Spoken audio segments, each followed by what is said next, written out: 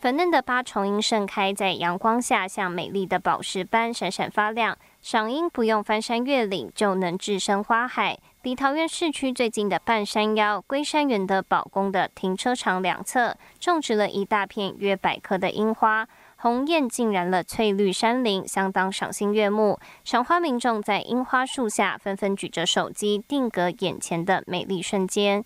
这一次的花开的怎么样？很漂亮哎，而且很很茂密，很旺盛。很漂亮，然后开得很旺，这次。